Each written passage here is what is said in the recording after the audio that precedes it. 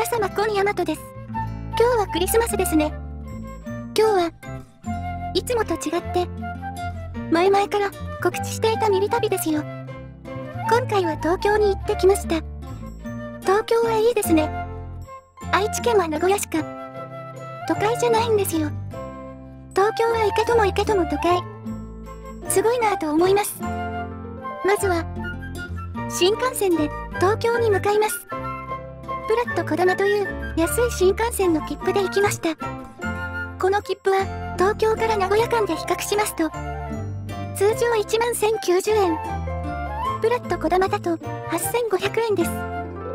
2590円、プラットこだまがお得なのです。では行ってきます。僕も用意を。あら。小山とくんはお留守番よ。まず、最初は、Z 北なびく東郷神社。ここのご祭神は、言わずと知れた東郷平八郎元帥ですよ。ちょっと失礼しまちゅ。東郷平八郎元帥とは高価4年、12月22日生まれ。元薩摩鹿児島藩士。石川とイギリスに留学。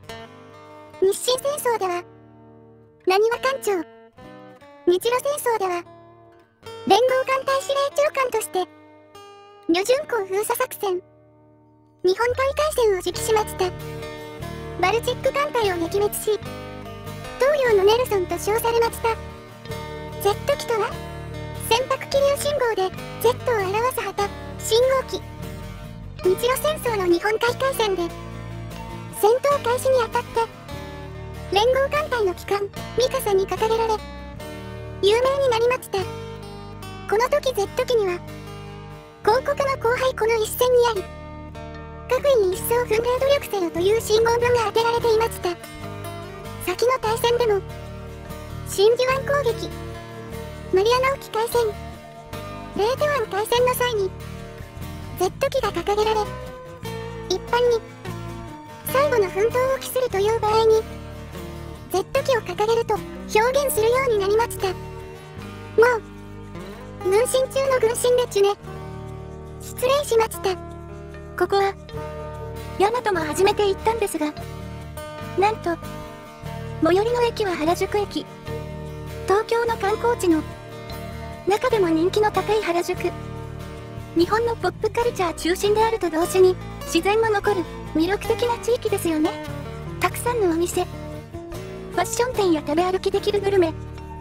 みんな楽しくお買い物して、ワイワイ騒いで、とても楽しい街。こんなところに本当にあるの？って感じで。でもありました。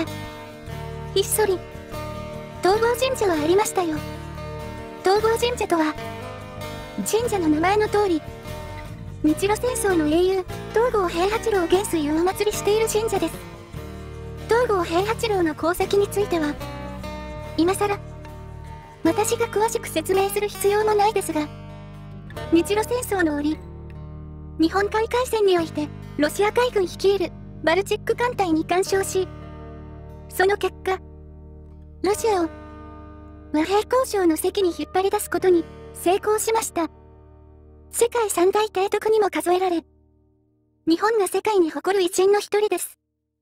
統合神社には、関連施設として、携帯霊社海の宮、慶神、数祖の信仰を熱い人々と共に、その精神を実践するため、昭和47年に、携帯霊社海の宮を創建しました。ご祭神として、海軍、海事、水産関係者また、数件者の書類を合祀放載しています。海軍特土紙幣の石踏み。14歳の少年から志願者を採用した海軍特別年少兵殉国費。潜水艦殉国費。多大な犠牲を払った潜水艦の戦時における殉国者の石踏み潜水艦横断面をかた。どった。石踏みの司令塔部分に実戦望郷をはめ込み石踏み面には殉国の日のみを刻み背面に殉国者全員の黎明を封入し傍らに碑文があります東郷神社では社殿を取り囲むように街廊にはパネルが貼られ東郷平八郎元帥を紹介しています。明治維新後は、英国留学を熱望するエピソードから始まって、日本海海戦の様子、88歳で亡くなる直前に、天皇陛下より公爵を賜る場面、統合元帥は、皇居に向かって、合唱地域を引き取りました。統合神社の狛犬。これは犬でないそうですよ。公式 HP によると、境内にいる、ちょっとカクカクした狛犬。珍しいねとよく言われます。実は、これは、獅子、ライオンで、いわゆる狛犬とは違うんです。これは、東京築地の国立がセンターのところに立っていた、アリス川宮仁志親王の右道像の台座の四隅にあったもので、戦災を免れた後、高松宮殿下から東郷神社に貸しされた、歴史ある獅子なのです。なんと、ライオンなんですね。日本海海戦に思いを馳せ、参拝をしました。どうぞ、日本をお守りください。こうして、東郷神社を後にしましたよ。では、今日はクリスマス。清この夜を歌ってみました。皆さん、聞いてください。どうぞ。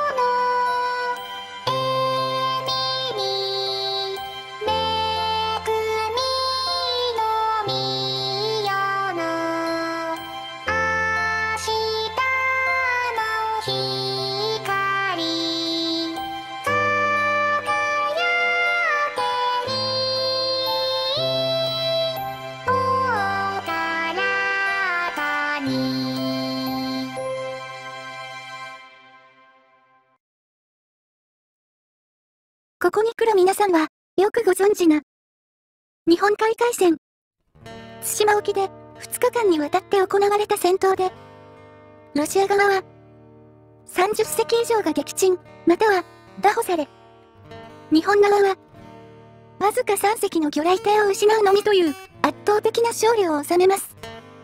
日本は、非白人の唯一の強国として台頭し、国際社会に認められることとなった歴史的大勝利なのです。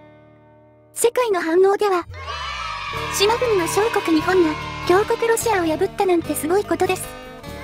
棟梁のネルソンと称えられる統合元帥の偉業。もし日本が負けていたら、その後の日本の歴史はなかったでしょう。そのようなすごい偉業なのに、少しも学校で習いませんでしたよね。しかも、海外の人の方が統合元帥をよく知っているなんて、日本人として少し恥ずかしいなと思いました。もし、お近くにお寄りなさいは、ぜひ統合神社に行ってみましょう。この番組を、ご視聴の皆さんのために、ささやかですが、プレゼントを用意しました。クリスマスカードと MMD です。コメント欄にリンクを貼っておきますので、よかったらダウンロードしてくださいね。では、皆さん良いクリスマスを。